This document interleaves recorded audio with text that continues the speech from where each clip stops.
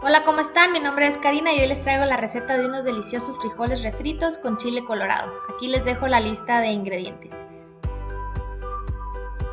Eh, lo que vamos a hacer primero es cocer los frijoles. Yo les pongo cebolla y chile serrano y los dejo por aproximadamente dos horas. Un poquito antes de que estos ya estén cocidos les agrego la sal y los dejo que eh, se sigan cociendo para que absorban el sabor y listo. Los dejo enfriar y una vez que ya están fríos en un sartén bien caliente agrego media taza de aceite, aceite vegetal, que, el que comúnmente tienes en tu cocina.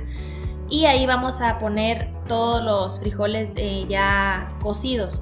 Lo único que yo les retiro es el chile serrano, pero dejo ahí la, la cebolla completa porque esta la vamos a utilizar más adelante. Entonces una vez que ya pusimos todos nuestros frijoles con todo el caldito que tengamos, los vamos a dejar que empiecen a hervir.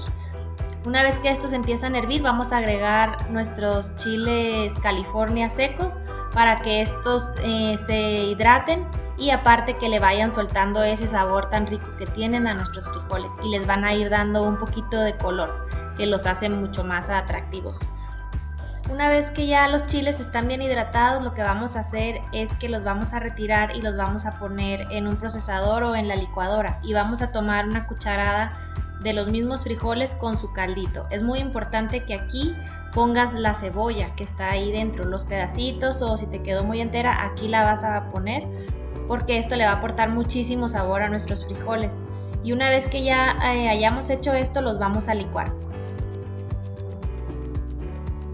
Y una vez ya licuados, esto va a quedar como una pasta, o sea, aquí tú si sientes que está muy reseco le puedes agregar más agua. Y ya al final de que estén listos todos nuestros frijoles ya refritos, si les hace falta sal, eh, pues ahí vamos a poder rectificar el sabor. Así es como queda ya eh, lo que licuamos, esto lo vamos a reservar. Mientras tanto lo que tenemos que hacer es machacar nuestros frijoles. Yo aquí estoy utilizando un machacador eh, pues manual que aquí hacemos brazo todas las mujeres al machacar los frijoles, pero si tú tienes eh, uno eléctrico, pues lo puedes utilizar y te van a quedar eh, igual de bonitos. Aquí cada quien lo deja a su gusto la textura del frijol. Y es momento ahora de agregar la mezcla que habíamos hecho. Aquí le estamos aportando todo el sabor a los frijoles, el sabor de la cebollita y el sabor que tiene el chile california.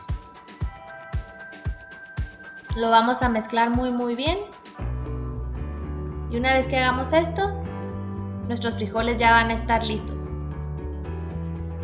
Ya aquí lo único que queda es dejarlos un poquito en el sartén para que se terminen de freír bien y pues ya es a gusto de cada quien como quieras que queden este, tus frijolitos, pero ya tienen todo el sabor y ya están excelentemente bien para que los disfrutes. Los puedes acompañar con cualquier platillo, en una tostada, con totopo, servirlos como botana, no sé, y ahí es tu decisión. A mis hijos les encanta con pan, embarrado el pan de frijoles y bueno, ellos son felices. Si te gustó mi video, dale like y suscríbete a mi canal. Gracias.